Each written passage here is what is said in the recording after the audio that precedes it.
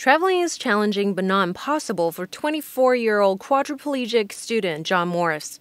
When he travels, he will use a seatbelt extension typically used by overweight passengers in a manner similar to what you see here. He recently traveled this way on Frontier Airlines from Dallas to Denver. But on the return leg, a Frontier pilot refused to let Morris fly.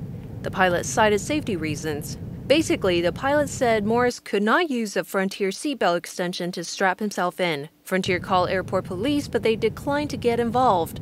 Still, the captain refused to fly, and so Morris and his family were forced to catch another flight home.